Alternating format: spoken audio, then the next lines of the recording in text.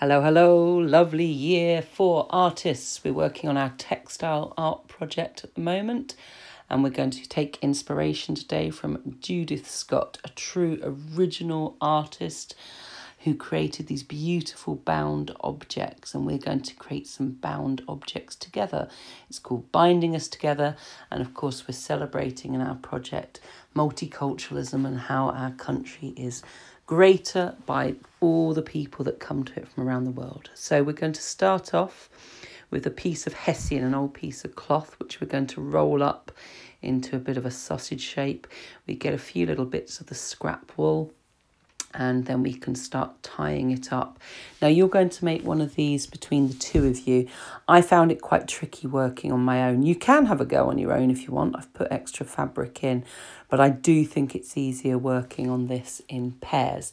And what we're doing today is we're creating a piece of artwork all together to go and do some yarn bombing which is where we go and put up our textiles artwork out into the real world. So once you've made a little sausage shape with a few bits of the thread or wool, just keeping it in shape, you're going to just tie on another piece of wool and start wrapping. And it's all about wrapping and binding it all together. That's what Judith Scott did over and over again, binding lots and lots of beautiful threads and strings and bits of fabric and things to create these incredible sculptures. So, what I want you to do is to make sure you use at least five different colours of the threads, of the strings, of the wools, at least that. You know, the more you do, the better. The more you cover the fabric, that's the way we want it. We don't see any of that fabric if possible. So as you can see, it's quite tricky wrapping it round and round with one of you on your own. But if you work together, it's much easier because one of you can hold it while one of you binds it. And we can have a nice go at that. Okay, so you just keep going, wrapping and wrapping and wrapping, changing the wool, changing the string. Keep going, keep going on and on. And you want to use some of the thinner threads, I think, at the end, some of those really bright colours, use some of those. And we can see here it's beginning to really build up now. Now what I need to do is to show you how you join the ends together. So what you do, if you can, if you've got enough fabric left, is you tie a loose knot just to sort of hold it together temporarily. But what's actually going to hold it together is wrapping more threads over the top. So if you haven't got quite enough um, of the fabric left, don't worry. But if you can, tie a knot and then get binding again. And you want to bind it with the same colour wools that you've used or the same colour strings all the way along because we want it to disappear. We don't want it to be obvious that there was a join there.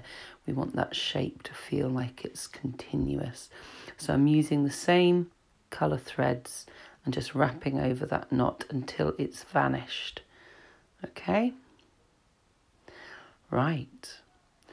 So I'm going to have to make some more for you to look at because I want to show you how to join these on together. So when I've finished this one, I'm going to have to make another one. You just make the one. Here I go. Here's my second one. See how fast I can do it. It wasn't this fast when I was filming it, I can assure you. But the idea is, is this our project binding us together. We are going to be really celebrating who we are as a school over all this project, all the different cultures, all the different nationalities of people that come from all over the world who come to Manchester and who've come to our school. And this is our first example of that by working together to make these bound objects. So once you have finished yours and someone else on your table or in your class has finished, you're going to start attaching them to each other. So I've just taken a bit of thread, tied it on, and I'm wrapping again. I think the thinner thread works better for this, so the embroidery thread. So get yourself some of that and get binding them on to the next one. And the idea is that you'll build this up. So if there's um, 30 of you in your class, you should have about 15 of these by the end of the lesson. And you're going to attach them all together and then you're going to take them down to some one of the fence or railings wherever you fancy. Probably in the front playground would look better I think. And then you're going to tie them onto the fence and then there'll be a nice sign uh, explaining the project. So if anyone wants to see it's like we've done this art project in the playground. Um, and this is yarn bombing. There's lots of lovely examples of yarn bombing I'll show you now so yarn bombing is where you take art and you put it outside. It's kind of like graffiti, except it's with wool on threads and fabrics and things. So you can see some on trees, some on railings. We're going to put ours on our school railings. So here I am back here. I'm joining together some of the hoops that I've already made and you can see how the sculpture is going to build up. And it will build up in quite um, an interesting shape because it will just keep going and it might be long and thin it might be big and round it might be all sorts of odd shapes. So work together to build up something interesting and unique. And every hoop will be unique, have the same starting point of having the hessian and the threads, but there's no two that can possibly be the same because it's the way you wrap them, it's the choice of materials. And that's what was so special about Judith Scott's work. So when you've finished, go out and yarn bomb that playground, kids. Have fun, everyone. Bye.